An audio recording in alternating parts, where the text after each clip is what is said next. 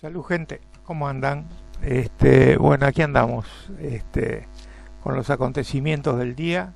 Este, la verdad que la campaña electoral está al rojo. Este, con el, eh, con el descubrimiento del arsenal en lo de, este hombre eh, Feldman, este, la campaña se ha puesto al rojo porque el Partido Nacional quiere achacar este, está buscando la vuelta para enchastrar al frente, ¿no?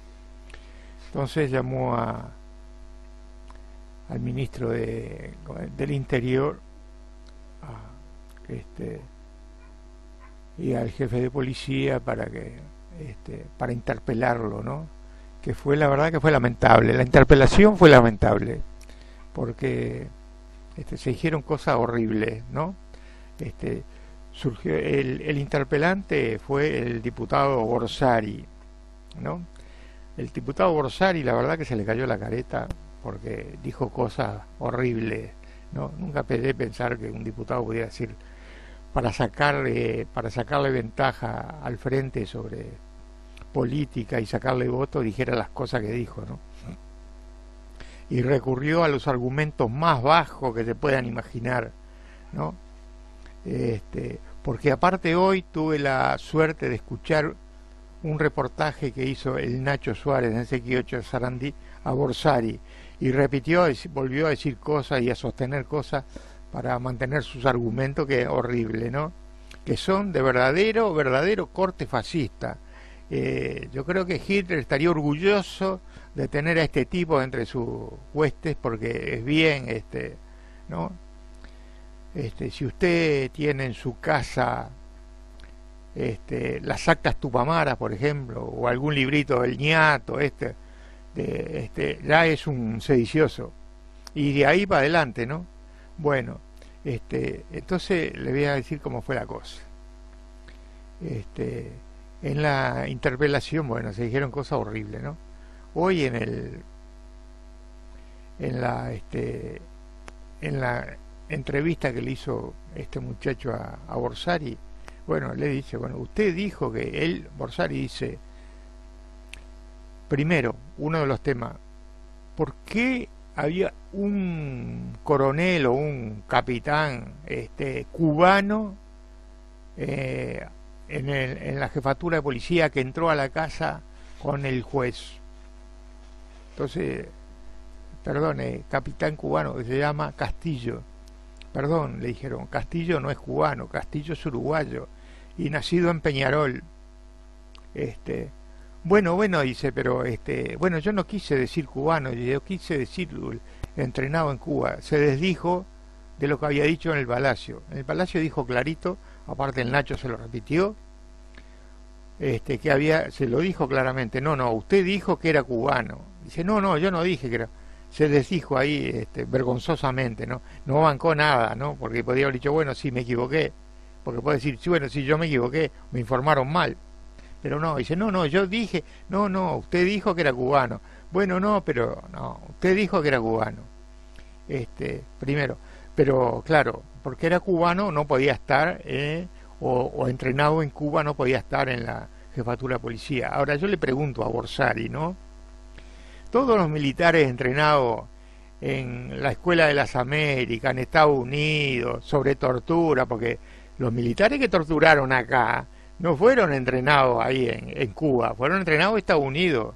Entonces Borsari a eso no le dice nada, porque todos los asesinos, milicos asesinos, estos que han torturado, asesinado, secuestraron al niño, todo eso, fueron entrenados en Estados Unidos, entrenados en la Escuela de las Américas entonces, eso Borsari no dice nada. Viene a decir por qué un militar cubano, y no era un militar cubano, era un uruguayo que había hecho un curso militar en Cuba, porque estuvo asilado en Cuba. Entonces, eso le molestaba a Borsari. Vamos, Borsari, Hitler estaría contento de tenerte entre sus hueses. Por favor, ¿no? Este, después, bueno, salió porque no, porque había libros de las actas Tupamara, porque habría del ñato, había libros Dice, y entonces el Nacho dice, sí, pero había, eh, había libros también de corte fascista, ¿no? Dice, bueno, está, pero no, no, pero había libros de corte fascista, ¿no? Este, el, este loco el Nacho Suárez, la verdad que le hizo un reportaje espectacular, porque lo dejó bien pegado como se merecía que lo dejaran, ¿no? Entonces, vamos a aclarar bien los temas. Este loco Borsari se juntó con el Cookie La Calle, con porque son todos de la misma calaña, ¿no? El Cookie La Calle, como con su apología a, a Franco, es bien fascista. Y este loco, con las cosas que dijo, es bien fascista. Entonces, el gobierno, si ganan los blancos, vamos a tener un gobierno fascista. Así gana el Pepe, bueno, no será fascista, va a ser este, un neoliberal, liberal, pero bueno, va a ser, como dijo el, el arquitecto Vega el domingo, ¿no? Yo lo escuché al arquitecto Vega el domingo y dijo una cosa muy linda, ¿no? Este, yo en estas elecciones voy a votar en blanco con la papeleta rosada porque nos traicionaron los frentistas. Muchos frentistas nos traicionaron porque no votaron la rosada. Entonces yo voy a votar en blanco y rosado. Al frente no lo voto. A los a lo blancos tampoco. Pero como dijo el otro día el ingeniero Vega, te presentan dos comidas que vos tenés que elegir. Hay dos comidas para elegir acá, ¿no? Es decir, o los blancos o al frente. Digo, una es vidrio molido, fino, y el otro es vidrio molido grueso. ¿Cuál querés? Digo, no, yo no masco vidrio, no quiero ninguno de los dos. Yo voy a seguir siendo independiente no me caso con nadie. Y bueno, esa es la cuestión. Entonces, aparte nosotros lo sabemos, cuando nosotros estábamos presos venía guiso podrido y guiso podrido no comíamos. ¿está? Muchos compañeros cuando venía el guiso podrido decían, bueno, esto no lo comemos y lo tiramos para el lado. Chao, no íbamos sin comer.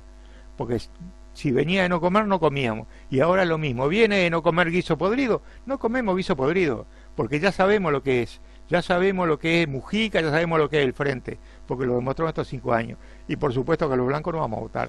Así que viva la, viva la independencia, viva la coherencia, viva la dignidad, arriba los que luchan, ahora patria para todos, por verdad y justicia, estas elecciones votaremos en blanco con la rosada, compañero. ¿eh? Vamos a decir las cosas como son. Y como digo siempre, compañero, habrá patria para todos. Y este Habrá patria para todos, compañeros, y hasta la victoria siempre.